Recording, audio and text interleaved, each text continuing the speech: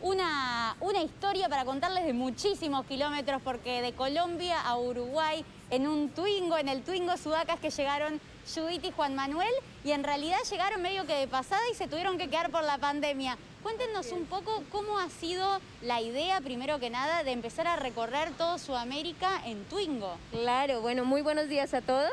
Bueno, nosotros somos de Bogotá, Colombia, y bueno, soñábamos con salir a recorrer el mundo y un día, bueno, después de mucho pensar y planear, dijimos, ¿por qué no vivir así? Así que bueno, tomamos la iniciativa de tener nuestro Renault Twingo para poder salir a recorrer él, en él. ¿Por dónde arrancaron? Bueno, salimos de Colombia, de nuestro país por el sur, eh, pasamos por Ecuador, Perú, Bolivia, Argentina, Paraguay, Brasil, Uruguay, Argentina, Chile y volvimos a Uruguay. ¿Y volvieron a Uruguay porque sabían que se venía la pandemia y querían pasarla acá o...? o... No, todo lo contrario, era una pasada para conocer Uruguay en verano porque habíamos venido en invierno y bueno, se nos dio lo de la pandemia en marzo y nos obligó a quedarnos ya casi un año acá, pero la verdad muy satisfechos y nos ha ido muy bien en Uruguay. ¿Qué, les gustó más, Uruguay en invierno o Uruguay en verano? Ah, en verano. ¿Qué, han recorrido? ¿Ya conocieron todo? Sí, hemos visitado casi todos los departamentos, solo nos falta Florida, que próximamente vamos a visitar, y ya visitaríamos todos los departamentos de Uruguay, y la verdad que es un país que nos ha sorprendido. ¿Y cómo fue la reacción de ustedes cuando vieron que se venía esa fecha que todos recordaremos, ¿no? El 13 de marzo. Y, que no, y que no podían volver a salir muy, muy fácil. La verdad, nosotros no estábamos enterados de eso. Nosotros estábamos haciendo temporada en Rocha, así que poco vemos televisión, poco estábamos informados, así que no teníamos idea. Cuando fuimos a Maldonado fue cuando escuchamos todo el tema de la, de la pandemia y todo esto. Bueno, y ahí nos empezamos como a enterar. Pensamos que era por poco tiempo, pero bueno, se fue alargando y bueno, nosotros hemos encontrado es como la forma de, bueno, seguir viviendo nuestro viaje, seguir disfrutando, bueno, de una forma cuidándonos, pero seguir aprovechando lo que salimos a hacer. ¿Cómo, se sustenta un viaje así? Porque me imagino que cuando tomaron la decisión en el 2016 de empezar a viajar, quizás no se esperaban que fuera a ser un viaje tan largo y me imagino que, tal cual como decías vos, Judith, que los sacrificios son un montón. claro, sí. Bueno, hay que inventarse muchas cosas para poder trabajar en el camino. Nosotros, bueno, nos ahorramos en la parte del hospedaje y de la comida porque nuestro auto está adecuado para vivir en él. Tenemos una casita en el techo, ¿la vas a armar? Ah, bueno, ¿te querés ir armando la casita mientras Judith nos cuenta? Entonces, bueno, tenemos... yo les voy a decir que ya vi cómo se arma. Vean lo rápido que es, porque es un segundo, de verdad. Menos de un minuto ya tienen la casa pronta. Claro, entonces, bueno, tenemos la casita pronta, tenemos para dormir, para cocinar. Y bueno, vamos trabajando en el camino vendiendo fotografías que tomamos de los lugares que visitamos, artesanías y hacemos trabajos de publicidad. Páginas web, logos, movemos toda la parte de redes sociales también. Entonces vamos trabajando en todo lo que se pueda pues para sustentar nuestro viaje. ¿Y van teniendo una ruta ya marcada o, van conociendo los lugares en el camino? Sí, claro, bueno, eh, hay lugares que teníamos ya en nuestra lista, pero bueno, también nos vamos llevando por lo que la gente también nos va recomendando. Entonces los lugares que nos recomiendan, siempre vamos, nos damos la oportunidad de ir y conocer, pues para tener como esa experiencia del viaje como tal.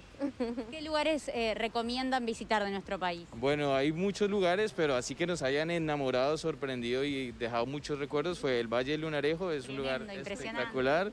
Eh, obviamente el Rocha, sus playas, Maldonado, eh, bueno, cada departamento la verdad que tiene un lugar encantador y sobre todo la gente que lo hace muy especial aquí en Uruguay. Por lo general nuestro verano es lleno de turistas y este es como uno de los primeros veranos, ¿no? Donde solamente hay uruguayos a donde sea que vayas, a la playa que, que vayas hay uruguayos, a los restaurantes que vayas hay uruguayos. ¿Qué les pareció? El, uruguayo? Bueno, para nosotros de verdad que son muy buena gente, son muy hospitalarios, la verdad que nos llevamos eso de Uruguay, nos han apoyado muchísimo, la gente nos ha ayudado bastante. Eh, desde un mantenimiento para el auto, desde una invitación a su casa para dormir, muchas cosas. O sea, para nosotros el uruguayo es muy hospitalario. Bueno, ¿y cómo va a seguir eh, este viaje? ¿Ahora tienen el auto en el taller? Sí, vinimos aquí a Renault, que nos van a hacer una revisión general, como una, una revisión preventiva muy completa y la idea es poder dejarlo a punto para continuar nuestra ruta, estar muy pendiente a la apertura de las fronteras. Eh, queremos también darle un tiempito para que se calme un poco el tema de la pandemia y poder viajar tranquilos, pero la idea sí es continuar viajando y regresar a nuestro país en el tiempo que tarde. Vamos a la velocidad del paisaje, no tenemos mucha prisa. ¿Más o menos cuánto estiman que podría ser en cuanto vuelvan a, Colombia? Eh, puede ser un año, puede ser dos, todo lo determina las sorpresas que nos vaya dando la ruta, así que vamos despacio, vamos sin prisa viajando con el Twingo Sudaca. ¿Qué, destinos les quedan por conocer en el camino? Bueno, claro, nos falta la parte de Argentina, la parte de Córdoba, La Rioja, Catamarca. De Chile nos falta la parte del norte, el desierto de Atacama, que queremos hacerlo. Y quisiéramos volver por el nordeste brasilero, que es lo que nos falta. Fuimos hasta Río, pero ahí devolvimos. Entonces volver el nordeste y creemos que con eso, bueno, vamos completando gran parte de Sudamérica. Está buenísimo el estilo de vida que eligieron. ¿Es, es costoso hacer algo así de cuatro años? Eh, no, mira que no, cuando se vive viajando y se traviaja también, los eh, ingresos van equilibrando. Me encanta el término traviaja. Claro, esa es nuestra moda de vida, es una vida nómada y que equilibra gastos con ingresos y es posible tener una vida viajera. Entonces la cuestión es esa, eh, motivarse, eh, emprenderlo.